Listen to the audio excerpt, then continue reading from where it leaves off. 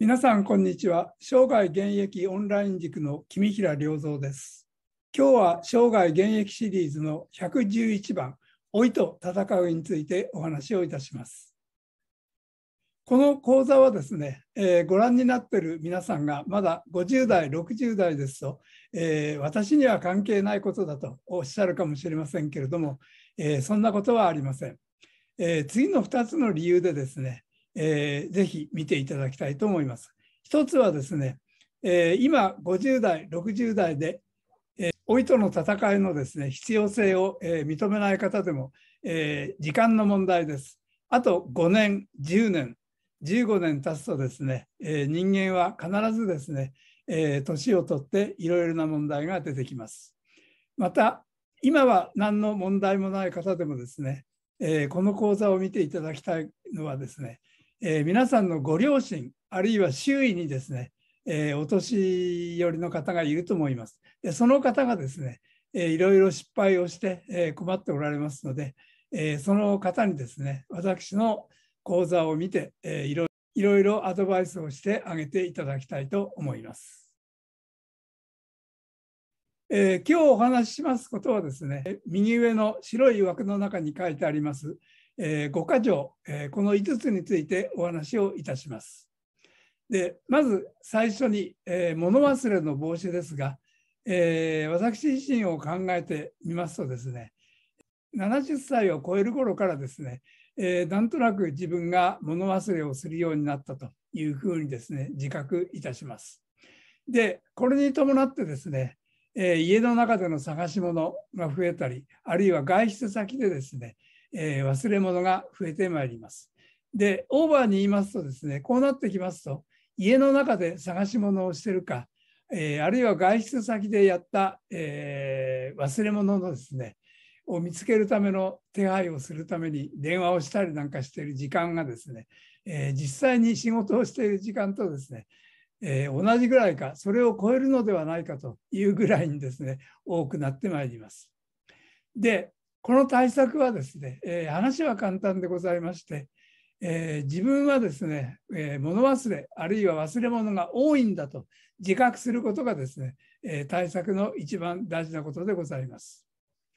で、えまず物忘れの、え対策の防止としてはですね、え月並みですが、えメモを取ります。で若い頃のようにですね、え友達でも仕事先の電話番号でもですね、え覚えていられたので、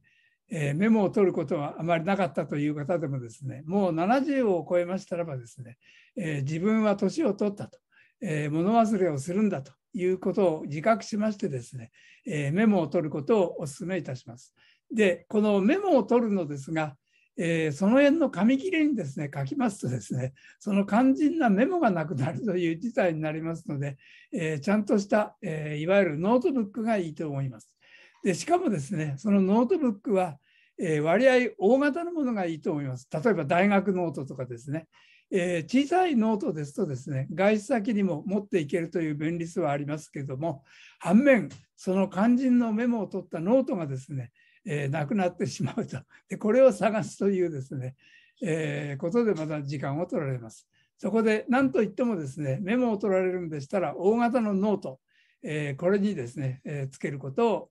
メモを取ることをですね、お勧めいたします。えー、なお、私がお勧めするのはですね、こういう IT の時代ですから、えー、いわゆるスマホ、これをですね、愛用されることを強くお勧めいたします。それで、えー、単にメモを取るだけでしたらですね、何もスマホのご厄介にはならなくてもいいのですけれども、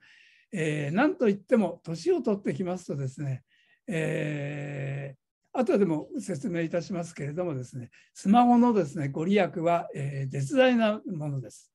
えー、したがってですね、まだ頑張ればスマホができるという余力のある時代にですね、えー、余力のある時にうちにですね、えスマホに挑戦して、え120%マスターをしておけばですね、え安心して老後を過ごすことができます。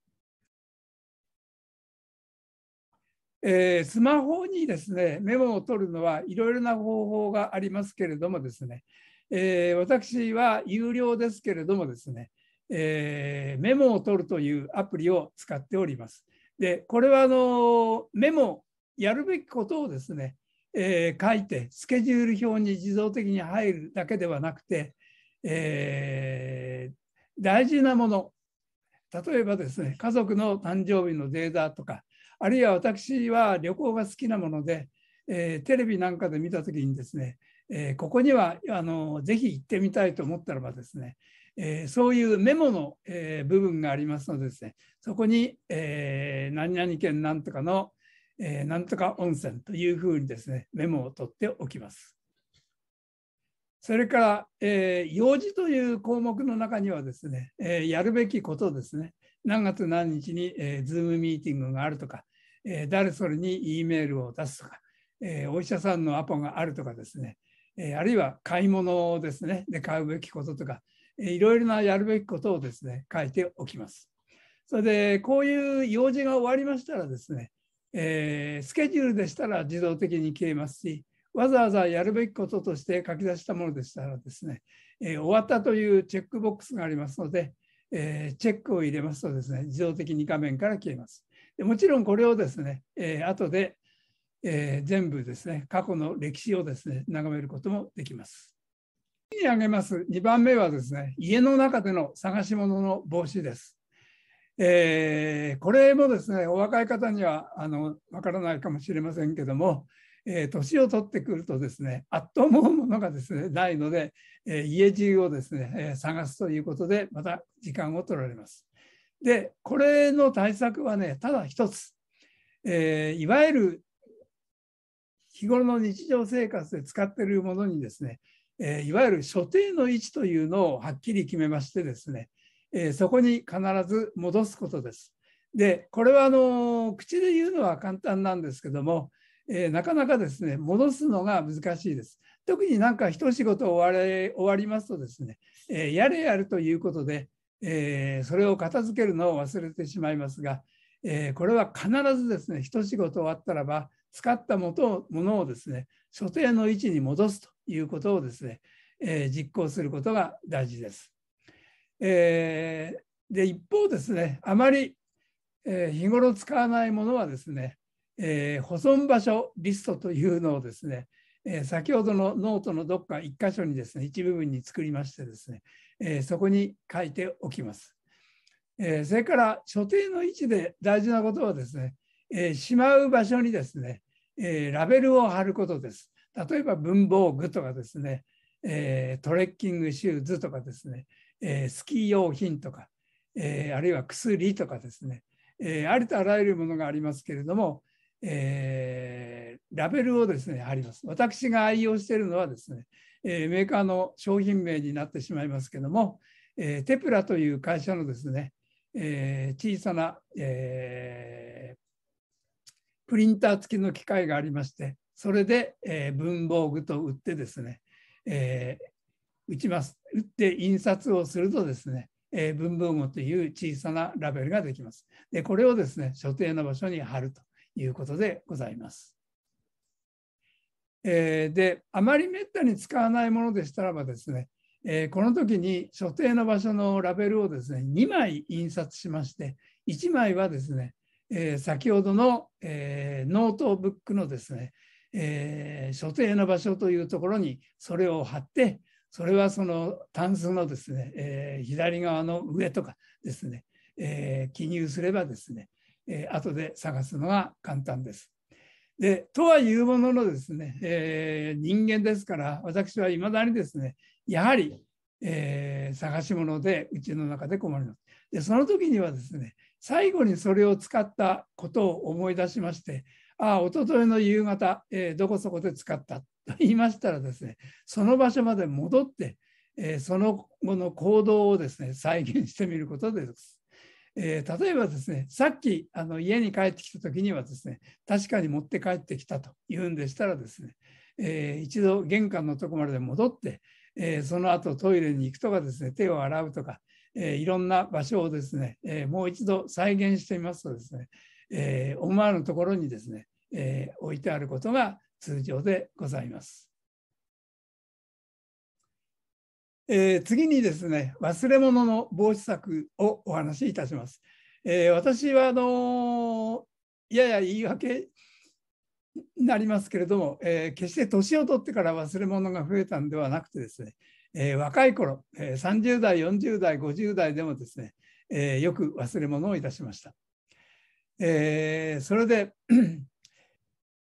結局ですねいろいろ試行錯誤しましたけれども、えー、83歳になっての結論はですね、えー、ともかく外に行く時にですね、えー、持って出る荷物の数を少なくするということがですねあの一番のベストな解決策でございます。えー、1つ2つ3つといろんなものを持ちますとですね、えー、1個ぐらいはですねどっかに忘れるということがですねよくあります。それで私はどういう生活をしているかというとですね、荷物はですね後でお話しする、えー、理由もございまして、えー、メインはリュックサックにしております。でこのリュックを背中にしております。であとこのリュックの他にですね、えー、持つものをですね、え、何かを持っていると、えー、いろいろ忘れ物の、え、原因になります。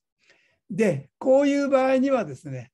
え、そこの写真の左の写真の左側に写っておりますけれども、えー、2番目のバッグという札を作りましてですね、えー、これを常に持って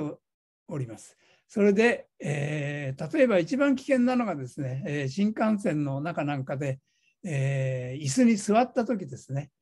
えこういう時にですね、えつい仕事に夢中になってて、え新大阪というアナウンスがあった時にですね、つい慌てて降りてしまうと。で、網棚の上に実は実は荷物があったということです。したがってですね、この2番目のバッグというのをですね、えー、指に絡ませたり、あるいは私がよくやりますのはですね、えー、新幹線の中でパソコンを使うときにですね、えー、電源を取っておりますけど、その電源のコンセントのところにですね、えー、この2番目のバックというですね、えタグをつけておきます。そうしますとですね、え新大阪というんで、慌てて降りるときにもですね、え電源を外そうとすると、この2番目のバックというのが目に入りますので、えー、慌てて網棚の上のですね2番目のバッグを取るということは、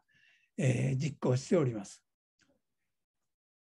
え、それからですね、え、2番目以外のもの、え、一番間違いが起きやすいのがですね携帯です。でこれはですね、え、何も私だけがひどいんではなくて、えー、新幹線が東京駅なんかに近づくときにですね駅のアナウンスで、えー、親切な車掌さんがですねよくえー、最近の忘れ物で一番多いのが雨傘、衣類、え、携帯電話でございますというぐらいですね、え、皆さん忘れます。え私も携帯電話をですね、え列車の中に置いてきたという苦い経験はですね、え 2, 度2度か3度あります。で、これのですね、え究極の解決策はですね、え紐をつけるということです。その左側の写真にですね、えありますけれども、えー、iPhone があってそれにですね着脱可能なですね、え、ストラップがついております。でこれはですねなかなかあの店でですね売っておりません。え、で私はですねこれをですね店で売ってる部品を買い集めてですね、えー、自作したものでございます、えー、割合簡単に自作できます。でこれを首からかけてればですね、え携帯に関してはね、え絶対に忘れ物がなくなったということになりました。えー、それであとよくなくなりましたものがですね、えー、東京都内で、えー、シルバーパスといいましてですね、えー、年間いくらで、えー、都内の都営地下鉄あるいは、えー、私鉄のバスも含めましてですねバスが乗り放題という、えー、パスがあるんですけど、えー、これをよくなくしました。そこでですねこれも初めの頃はですね、えー、これ専用のえー、首からかかる、えー、カード入れ、これはあの文房具屋で売ってます。えー、でこれをですね買って首からかけておりました。ただ最近ではですね、えー、この後で述べる方法でですね、えー、携帯のケースの中に入るということがですね、えー、可能になりましたので今は使っておりません。それからあと忘れ物で重要なことはですね、えー、いわゆるそのそこに書いてあります。示唆検証です。差転生とは何かと言いますとですね、えー、あるいはあの指差し転生とも読むそうですが、えー、これはあの一番いい例がですね鉄道の、えー、運転手さんとか駅員がですね、えー、信号機を指さして、え出発進行よしとかですね、えドア開閉、えオープンよしとか叫んでおりますけれどもですね、えやっぱりいろんなその研究成果があるんですけれども統計によるとですね、えこれが一番その忘れ物防止にはですね役立つようです。でこれを私のですね忘れ物にも、え利用しまして、えどっかの場所に行って喫茶店食堂あるいはホテルのフロントでもいいんですけれども、えそれに荷物を置くそれで用が終わります。で動き出す前にその辺のですね私がいかにも自分の持ち物を置きそうな場所、えー、まあ、今はだいぶなくなりましたけど公衆電話の脇の台とか、え、ベンチそこを指さしましてですね、えー、忘れ物なし こういうふうにですね、え大きな声で叫んで立ち去ります。で人の会社に行った時にですねえー、まあ初対面の慣れない初めての訪問でこれをやられると、えー、この人ボケてんじゃないかと思われますので、えー、やりませんけどまあ2度目3度目になりますとですね、え恥も外文もなくですね、え人の会社の会員室を去るときにですね、え荷物を置きそうなところを指さして、え忘れ物なしと叫びます。でこれがあの同行者がいてもですねえー、帰ってああ君らさんが言っておかげで気が傘に気がついたなんて感謝されることもありましてですね、えー、意外に人に喜ばれております。えー、それでは忘れ物防止策の続きですけれども、えー、私のですね携帯とそれからいろんなカード、えー、こういうもののですね、えー、なくさないようにする忘れないようにするですね、えー、今現在のベストの方法をお話しいたします。えー、先ほど申し上げた通りですね、えー、スマホは私は首からかけることにしました。えー、でこれでスマホを忘れるということはですね、えゼロになりました。で、え量販店の売り場でですね、えいろいろ見ておりましたらばですね、えスマホのケースで裏にスライド式の、えドアがついておりましてね、え、中にカードが2、3枚入るという優れものを見つけました。え、そこで私はですね、これを日米で愛用しております。えー、写真の上はですね、えホノルル、アメリカで使っているスマホのケースです。で、えドアがですね、スライドしてあります。でこの中にですね、運転免許証とかですね、えクレジットカード1枚ぐらいが入っております。スライド式のドアのケースにはですね、えー、プラスチックのケースを貼り付けましてその中に一番よく使うもの、えー、オアフ島の中のですねバス乗り放題というですね、えー、1年間いくらというカードがあるんですけれどもこれをですね、えー、入れております。で日本の場合にはですねここにですね、えー、先ほどお話しした、えー、東京都内のシルバーパスえー、このカードでですね、えー、東京都内の地下鉄、都営地下鉄、あるいは私鉄を含めたですね、すべてのバスが乗り放題というカードを含めております。で残念ながらですね、現在のところ、このカードが、えー、IT 化してませんのでですね、え、現物を駅員に見せるということなので、えー、残念ながらですね、このところに貼り付けております。それから日本のカード入れでですね、中に入れておりますのは、えー、私が通っております、えー、ジムのですね、えー、入場券で、え、これはですね、磁気カードですので、え、ゲートでですね、ピッと行きます。え、で、あの上の磁気カードが薄いせいかですね、いちいち出さなくてもですね、え、このケースの上からですね、え、ゲートにかざしますと、ピッとですね、え、動作いたします。それで、あと、皆さんにお勧めしたいのはですね、えスマホの中に今やいろんなカードが入るようになってきました。えで私はですね、え JR の Suica とか、えあるいは PayPay、あるいはそのいろんな店のポイントカードというのがありますけれどもですね、こういうものがですね、ほとんどあのスマホの中に入ります。したがってですね、えー、各々のカードをいちいち持り持ち歩かなくてもですね、えー、スマホさえ持っていければですね、えー、どこの店で買い買い物、不意に思い立って買い物をしてもですね、えー、ポイントを売ることができます。それから、えー、最近のスマホの進歩で進歩で私が愛用しておりますのはですね、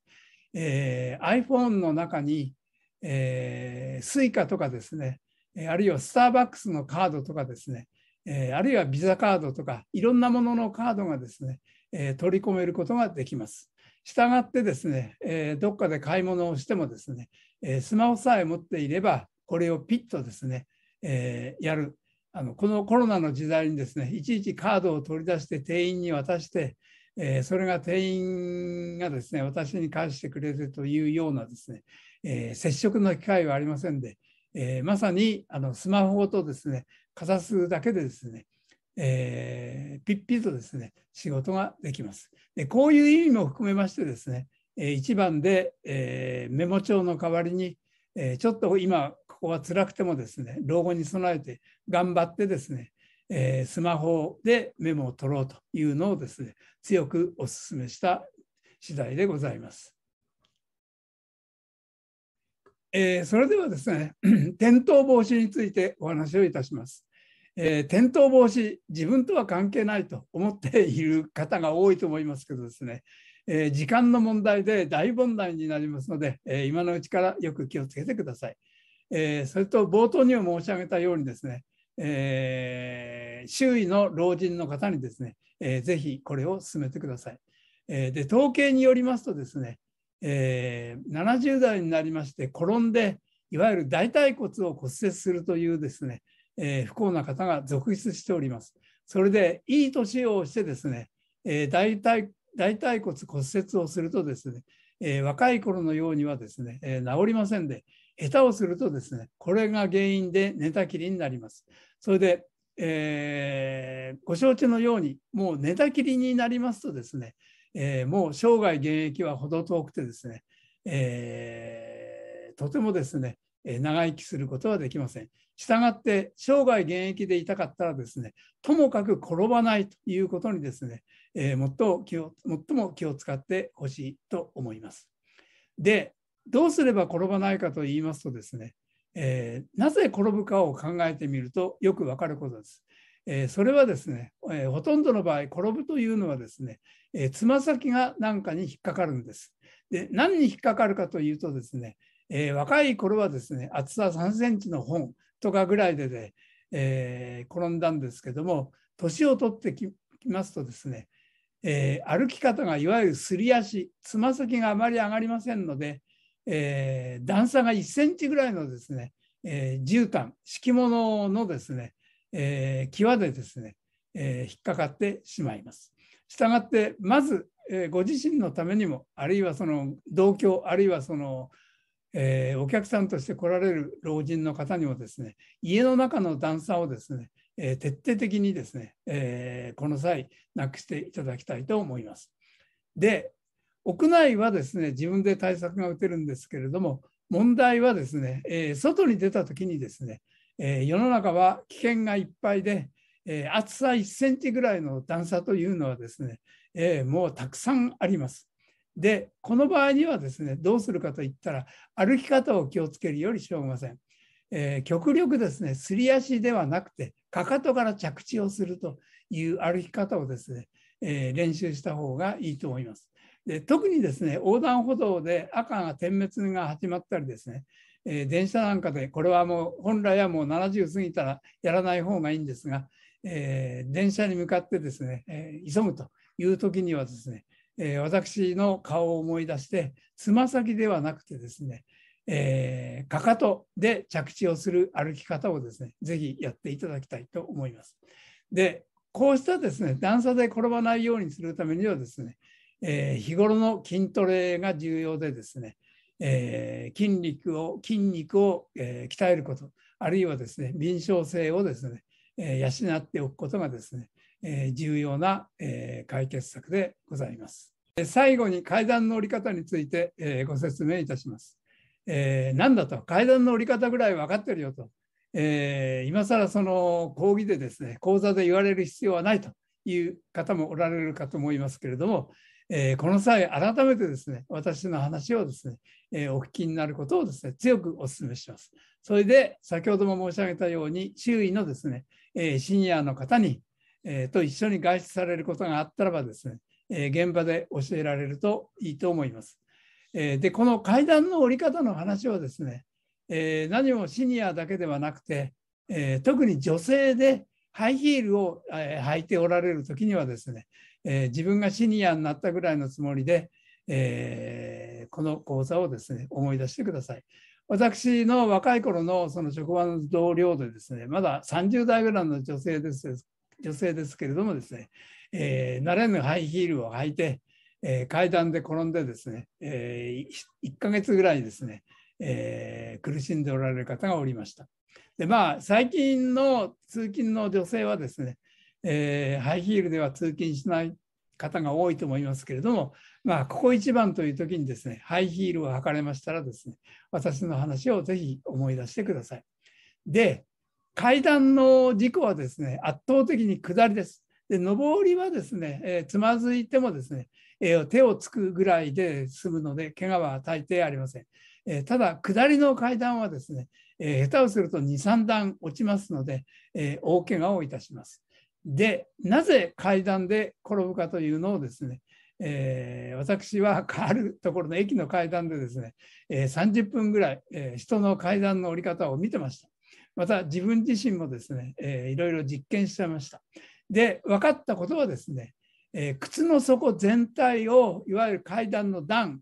平らな部分にですね、全部乗せない方がですね、非常に多いんです。特に急いでる場合ですね。えで、その左下の図のえ左側はバスがついてますけれども、要するにね、靴が半分はみ出したように、えステップの上に乗っける。で、これではですね、えー、バランスを変えて転ぶのは当たり前なんです。で、従って、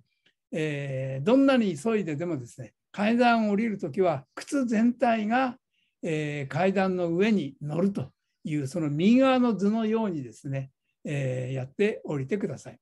で、通常の階段というのはですね、えー、いわゆる滑り止めという幅3センチぐらいのですね、ちょっと段のついた、えー、ものが、え、ついております。で、靴を必ずですね、この上じゃなくて、えー、つま先がかかるようにではなくてですね、中に完全に内側に、えー、着地するということをですね、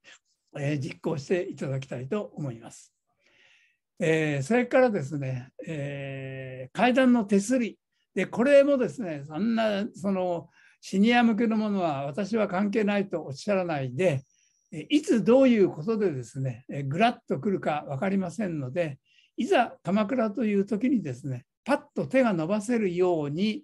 何も手すりにですね、触りながら降りなくてもいいですけれども、ぐらっときたらいつでも手が伸ばせる、えー、つまりまあ右手ですね、普通の人ですと、えー、右階段の右側のですね、え手すりすれすれのところをですね、降り。それでもし何かあった時にはですね、すぐ右手をさっと出してですね、え手すりをつかむという習慣をつけるといいと思います。で、こういう点からもですね、えー、荷物を両手に持って歩くというのはもう論外で、えー、荷物はですね、できるだけリュックにして、えー、片手、特に右手ですね、手すり側はですね、開けて降りるというのがですね、え重要なことです。で、これの中長期的な対策はですね、やはり日頃歩いたり、えー、筋トレをやったりですね、運動をしたりしてですね、え、筋肉を鍛えること、あるいはですね、敏捷性をですね、保つことがですね、重要でございます。